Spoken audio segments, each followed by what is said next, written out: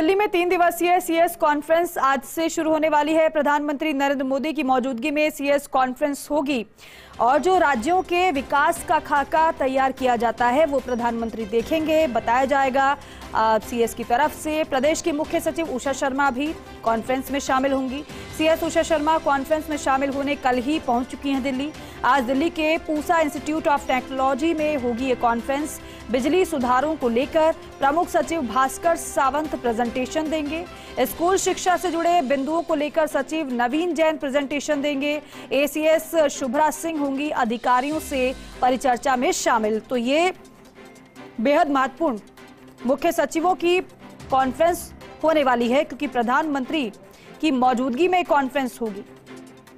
अलग अलग राज्यों के सीएस इसमें मौजूद रहेंगे। पूरा खाका बताया जाएगा कि किस विभाग में किस तरीके से क्या पूरा रोड मैप तैयार किया जा रहा है विकास का।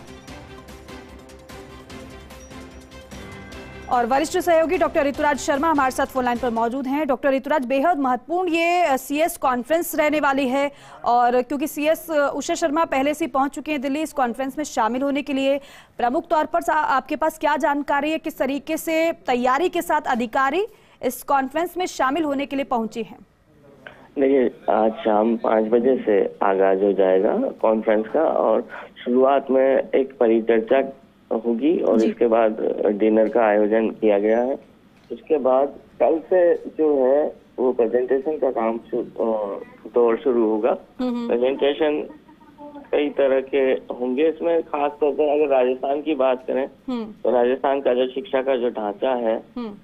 और जो स्कूल शिक्षा में इंफ्रास्ट्रक्चर है उसे लेकर यहाँ पर प्रेजेंटेशन होगा और उसको सचिव जो नवीन जैन है वो पूरी तैयारी के साथ यहाँ पर प्रेजेंटेशन देंगे राजस्थान की ओर से एक ही प्रेजेंटेशन है हम्म। वो प्रेजेंटेशन है राजस्थान में शिक्षा के बढ़ते कदम को लेकर हम्म। और इसमें स्कूलों में जो क्वालिटी इंफ्रास्ट्रक्चर और लर्निंग आउटकम में जो सुधार हुआ उसको लेकर फोकस होगा हम्म। इस तरह से जो ग्रुप डिस्कशन होते हैं उसमें भास्कर सावंत भी हिस्सा लेंगे उसमें जो ऊर्जा में क्वालिटी एफिशिएंसी और रिलायबिलिटी इस हम्म। विषय को लेकर ग्रुप डिस्कशन में वो शामिल होंगे हम्म। वहीं अतिरिक्त मुख्य सचिव Shubhra Singh health and wellness को लेकर ग्रुप डिस्कशन में शामिल होंगी जिसमें खास तौर पर जो फोकस होगा हम्म। वो वेलनेस सेंटर और जन औषधि केंद्रों को लेकर होगा हम्म। कि किस तरह से वेलनेस सेंटर और जन औषधि केंद्र काम कर रहे हैं।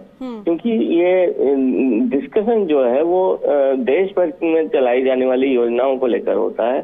तो राजस्थान में किस तरह से काम हो रहा है इसके बारे में सुब्रा सिंह जानकारी देंगी। पीएम मोदी भी इस पूरे कॉन्फ्रेंस को संबोधित करेंगे। हालाँकि पूरा समय आया नहीं है। वो कब किया जाएगा और आ, मूल मंत्र देंगे ब्यूरोक्रेसी का गुड गवर्नेंस को लेकर। तो इस तरह से ये कॉन्फ्रेंस का सिलसिला जारी है एक एक जरा बात समझाइए कि ये जो कॉन्फ्रेंस होने वाली है प्रधानमंत्री मौजूद रहेंगे। केंद्र की योजनाओं को प्रदेशों में किस तरीके से लागू किया जाए? वो अब बताया जाएगा किस तरीके से कार्य होगा इस पर ये बातचीत बेहद अहम रहने वाली है। या फिर प्रदेश में विकास की गति को कैसे रफ्तार देनी है क्या नवाचार होने हैं इसको लेकर ये खाका रखा जाएगा प्रधानमंत्री के समक्ष। देखिए टीपी का प्रधानमंत्री के समक्ष जो राज्यों ने नवाचार किए हैं हम्म, हम्म। जिस भी जिस भी मुद्दे पर जिस भी बिंदु पर जो नवाचार हुए हैं वह रखा जाएगा। इसके साथ साथ ही जो डिस्कशन है उसमें ये देखा जाएगा कि देश में जो देश भर में जो योजनाएँ चल रही है पीएम मोदी की उसमें किस तरह से काम किया गया है? तो एक संघीय ढांचे में किस तरह से तस्वीर सामने उभर कर आती है जिसमें राज्य का विकास भी होता है और एक पूरे देश के रूप में देश का विकास किस तरह से हो राज्यों के विकास के साथ। तो समावेशी विकास की जो तस्वीर है वो उसको लेकर यहाँ कॉन्फ्रेंस में जो उभर कर तस्वीर सामने आएगी कि किस तरह से समावेशी विकास के ज़रिए देश को आगे बढ़ाया जाए। जो। आगे की जो कार्य योजना है जो मोदी सरकार की खास तौर पर अगले पाँच साल के लिए जो योजना है उसमें भारत को तीसरे नंबर की अर्थव्यवस्था बनाने का है। तो इसे लेकर भी यहाँ पर फोकस हो सकता है क्योंकि भविष्य की रूपरेखा अगर बताएँ तो वो क्या बताया जा सकता है? इस बारे में भी यहाँ पर मूल बिल्कुल। बेहद महत्वपूर्ण रहने वाली है। भविष्य की रूपरेखा किस तरीके से रहेगी कैसे कार्य आगे होगा इस पर कॉन्फ्रेंस में चर्चा है। बहुत शुक्रिया आपका जानकारी के लिए बातचीत के